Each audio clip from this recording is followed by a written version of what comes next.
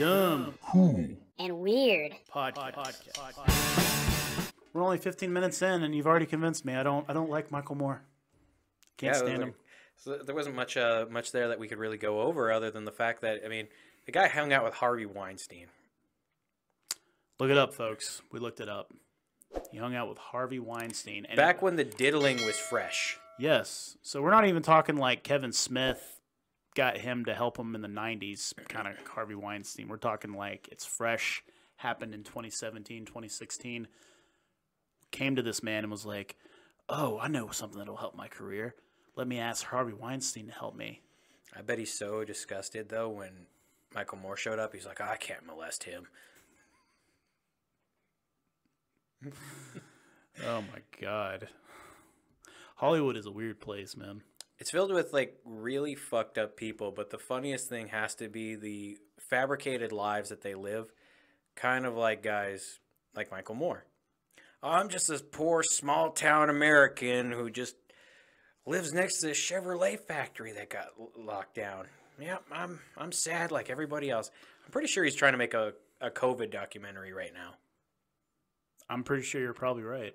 I mean, he'll make a documentary about anything. I mean, there, we could literally be making fun of, um, like literally, literally, like wh- whatever, whatever social justice movement's going on. I'm sure he jumps like right on the bandwagon and kind of rides the coattails.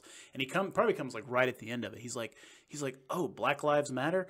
Oh, oh, oh, let, let- let me get a little, little piece of that. You know, a little piece of the action. Pulls out a sign, gets off the rascal scooter, takes his few steps for the day, and uh, pretends he's protesting. Yep.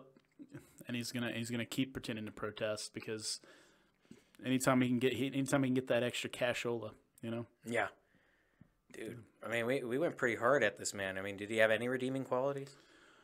Um. Well, the thing was, like I said, I mean, my professor told me that when he first got started in the early '90s, he seemed like he had some really good qualities about him. It seemed like he was actually trying to do some really good journalism. Um. But the the thing is, he seems like it's like I don't know. According to according to my professor, he said that like he just decided that you know the the guy just decided, hey, I'm just gonna do whatever I want, you know.